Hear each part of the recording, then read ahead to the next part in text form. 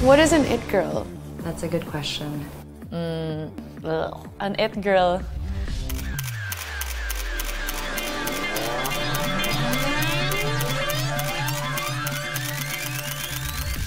Actually, when they first called us It Girl, I was like, what the hell's an It Girl? I don't know how we even got the name It Girl. Well, they called me that, and then I started hanging out with other girls, and then they called all of us that together. But I don't think our group actually knowingly did that. We just were doing our own thing, and I don't know, people just wanted to know more.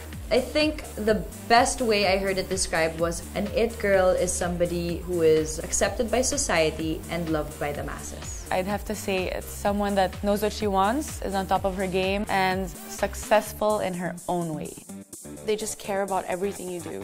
And I think the fact that we all are genuinely friends, people just keep wanting to know more.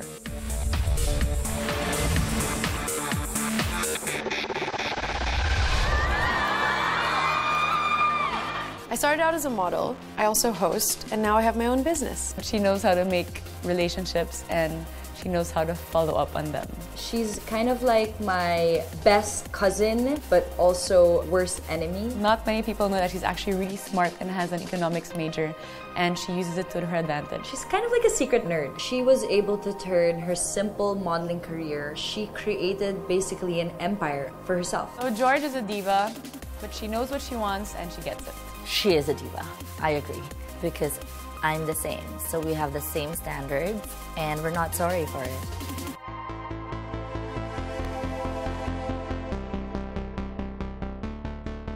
I'm a stylist. I do a lot of commercial work. I do style billboards and magazines as well. I do editorials and I work a lot with celebrities. Liz and I met each other because I was her muse when she was starting. She was a fashion assistant. From that, she became a fashion editor, and now she's taking the world by storm. Liz is a visionary, and I think a lot of people think that it came easy because she comes from a good family, but she actually worked really hard to get where she is, and she's one of the number one stylists here in the country, and She's always abroad now representing us. I met Liz through George. George was studying in Australia. I had no one to hang out with, so she gave me Liz.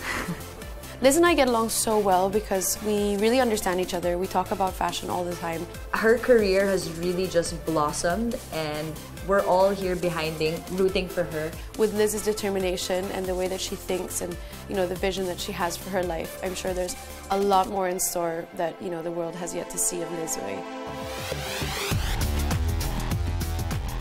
My friends call me Belle. Growing up, I've always kind of been groomed to try to enter beauty pageants. Since my mom was the very first Filipina Miss Universe in 1969. Belle is my first cousin, but she's honestly like my sister. We grew up together. We're a year apart, and so we did everything together.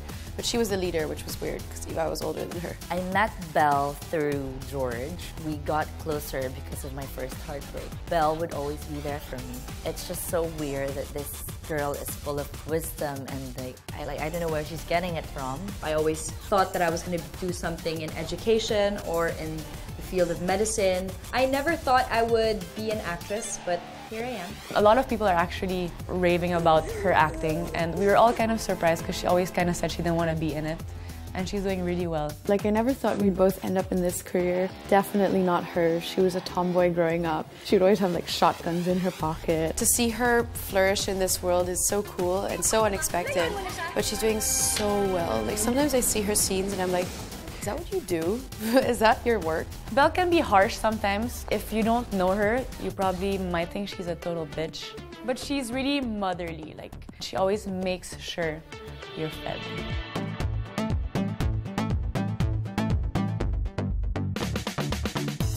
Everyone calls me Sauce. I started up as a fashion designer and makeup artist and then kind of ended up in front of the camera. I've done TV shows, I host, I've been singing, I've done a few movies and now I'm here. Solenn and I were childhood friends. My dad was actually the best friend of her dad. She was a makeup artist that I would beg to do my makeup all the time because I loved her work. And all of a sudden, she just was never free because she became a huge star. Everybody loves to work with her because she basically extends herself out for people. She paints, she draws, she's game to do anything, which is very different from me. I guess opposites attract, so that's why she's one of my best friends. I know Solenn through Belle and Georgina All of us are bitches, and she's the nicest one, so I like that balance in the group.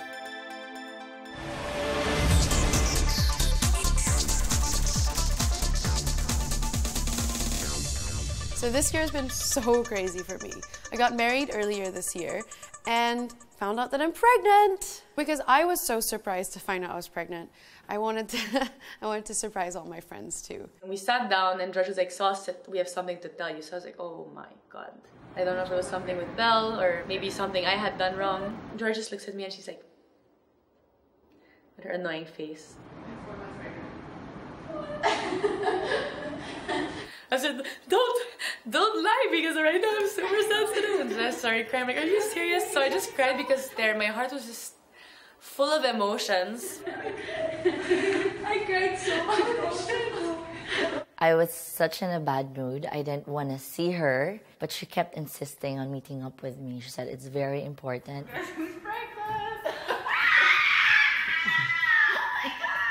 Hearing Georgina pregnant was the best news I've heard this year. Like, because I know that the kid will be mine. I'm going to be the favorite aunt. Out of all my friends, I thought I was going to get pregnant the last for sure. I'm four months pregnant! I knew Arturo got it. really? I just completely was not ready. It's so weird because I thought I was just maybe eating too many pastas and rice and like, you know, eating the carbs too much. Nope, it was a baby. It'll be interesting to watch her journey into this uh, motherhood. George like sees a baby, she's like, ew, get away, it's pooing. I don't even know what to do with children, so that's gonna be a big challenge. Arturo Legas is here?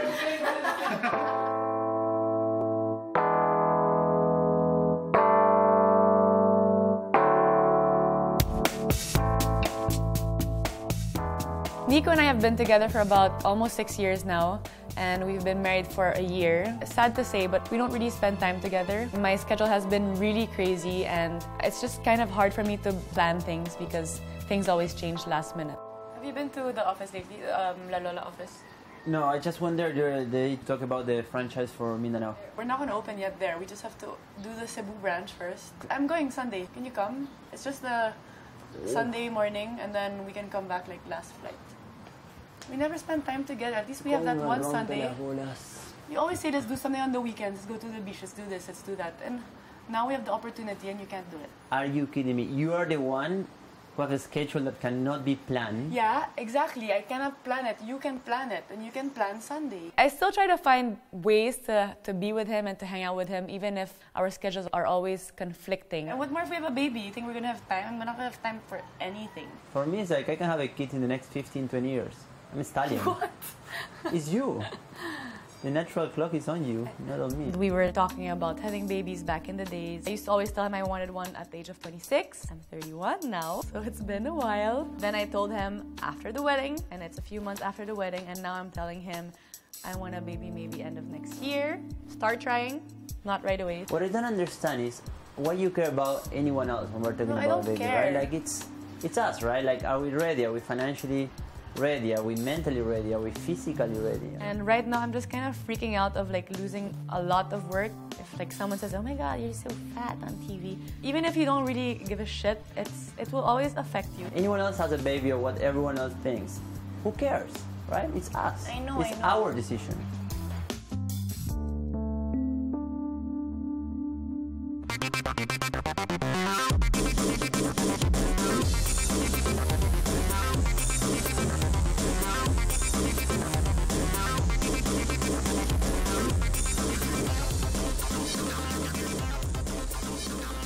Founded Stylize Studio. It's a styling company based in Manila. We're prepping for a huge campaign shoot the following day, and then suddenly I got a call from the model. The model that we chose, she's backing out. She was canceling last minute. What do you do? Can you find me a, another model? Because the model that tomorrow is backing out. And the shoot's at 8 a.m. In styling, you always have to be prepared for whatever reason. Like any stylist would do, we'll look for another great one. What are the choices? Definitely Clara. Yeah. I love her look. I It's Clara. I'm actually happy that she canceled because my favorite model was in town and I booked her and good thing she was free.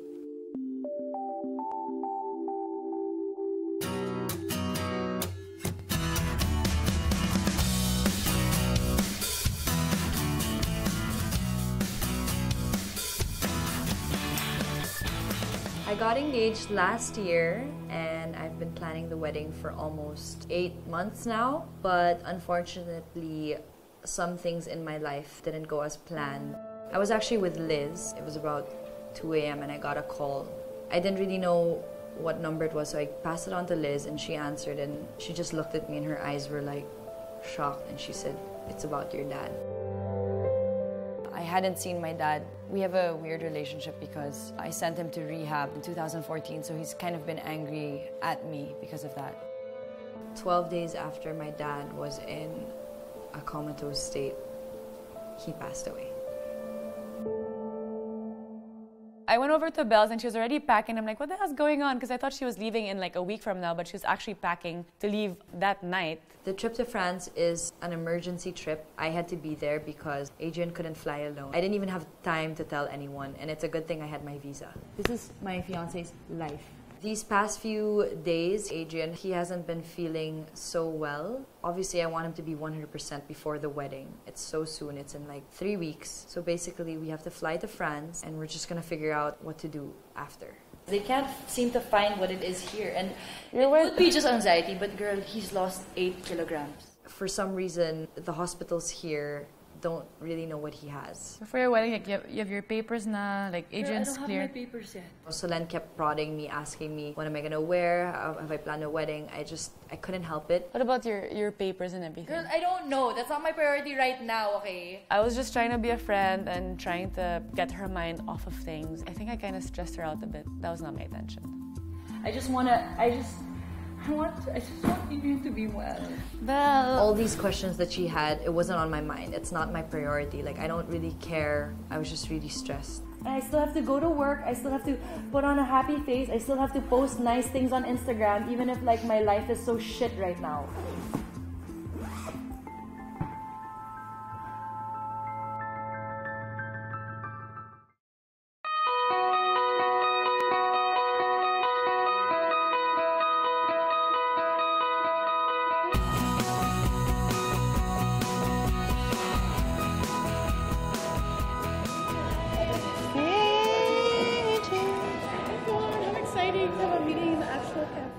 Had this baby, my original baby was Sunnies, and probably still will be my first child forever. I set up a company called Sunnies Studios. We started off with sunglasses that's now branched into prescription eyewear, and we have over 50 stores around the country. We weren't satisfied with just sunglasses and eyewear and stuff. There will always be the evolution of the brand, but for now, we've decided that we love eating and we love things looking cute, so we made our own cafe. Eric is just gonna live here.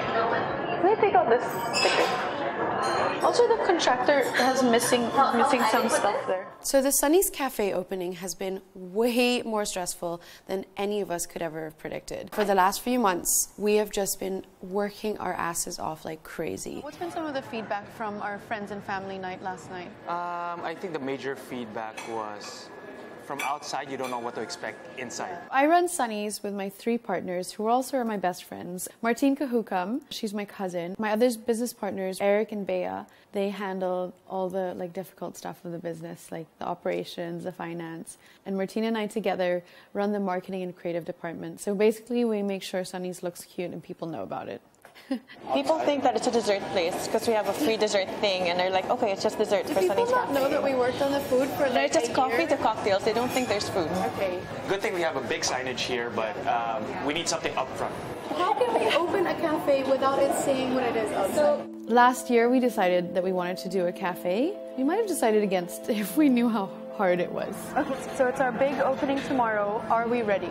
Are we ever ready? That's the question. Are you ever going to be We have to ready? face a lot of concerns. Okay. We just are just desperate to open, and we just want people to share the excitement that we have for the cafe and see all the hard work that we put into it.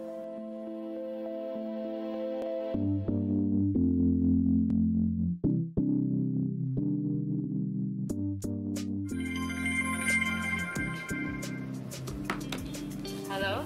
Hey, Belle. What's up? Um, I'm still in the office, just working overtime. How are you? Where are you now? I'm in freaking Strasbourg. We just got the results from Adrian's doctor. As in right now? I don't know if it was for her wedding prep. I just know that there's some sort of emergency. It's on a vacation because we were also in the hospital. We met like 10 doctors here. He's gonna stay here longer. I have to go home because I have to work. I haven't even had time to breathe. Because her dad just passed away. Her aunts are in the hospital. Her workload is just too much. I just feel so bad because she has so much on her plate, and now this. Well, there's so much drama in my life. I'm like, I don't know where to start. The wedding planner in Italy said that we might have to get married in Manila. She was telling me that she might not get married in Tuscany. I mean, who tells you when to get married or not?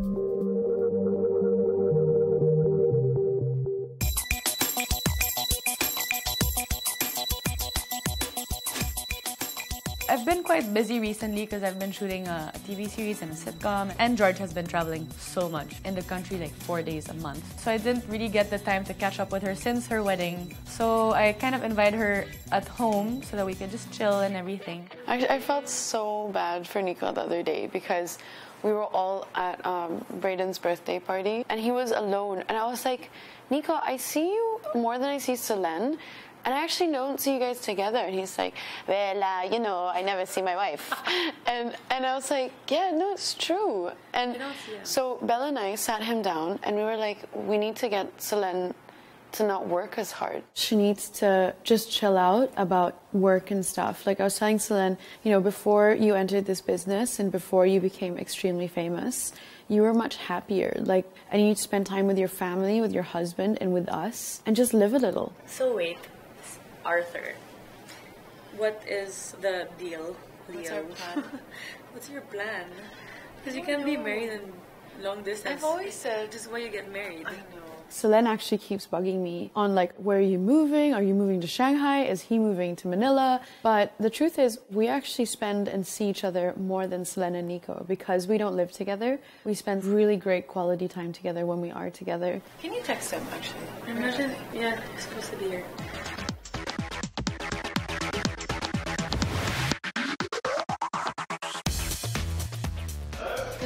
Oh, ah, finally! Boys are finally here. The boyfriends, well, now they're the husbands, love each other so much. And sometimes we think they're closer to each other than we are as girls. I guess they have a club on how to deal with us together. it's a support group.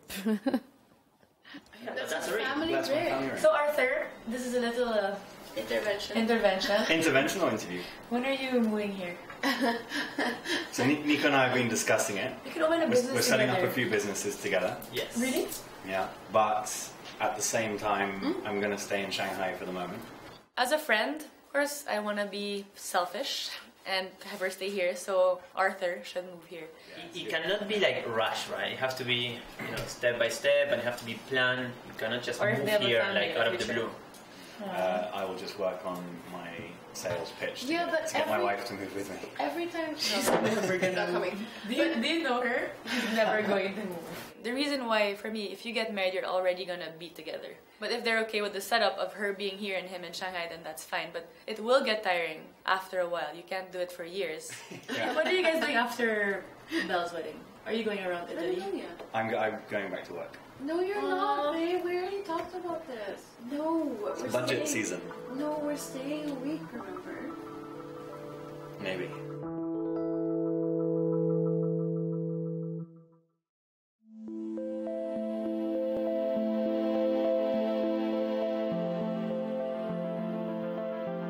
Had to come home from France because I still have work here. I'm working on a TV show. The story revolves around me. If I'm not there, they're not gonna have anything to air. So ano to? I'm asking for the French embassy, not about my dad's death certificate. This isn't helping the situation. I'm back to reality, and my family wanted to throw us a little dinner to welcome me back and kind of just give me support because of everything that I've been through. I came home to my cousin's house, and my entire family was there. They were already eating. So my mom comes from a huge family. She has 12 brothers and sisters, and we get together all the time because we love eating. And we think it's the perfect opportunity to tell our whole family that we're going to have one more member. guys, You can stay here. guys, Go here, yeah, yeah, yeah, yeah, come here. We have an announcement. settle down. We have an, an announcement. Now it's time to tell my whole family, and they're gonna be super shocked. We have another member who's gonna be added to the family because George is pregnant! I was so happy to announce that George was pregnant. Now we can all celebrate together. I guess finding out that I was pregnant was such a shock to me, but seeing how happy it made my friends and family, I do feel really blessed.